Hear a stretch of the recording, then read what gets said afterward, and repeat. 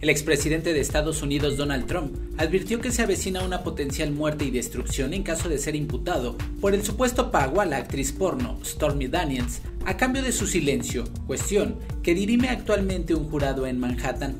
En un mensaje publicado la madrugada de este viernes 24 de marzo en su red Trot Social, que es por el momento la única que usa activamente, Trump insistió en que su imputación sería catastrófica para Estados Unidos. Según el político y empresario de 76 años, que se supone está en su mansión de Mar a Lago de Florida, su imputación puede buscarla solamente un degenerado psicópata que verdaderamente odia a Estados Unidos, en alusión al fiscal Alin Bragg, que fue quien inició el caso y pidió al gran jurado que estudie si sigue adelante con la instrucción del caso, algo que no se sabrá al menos hasta la semana próxima.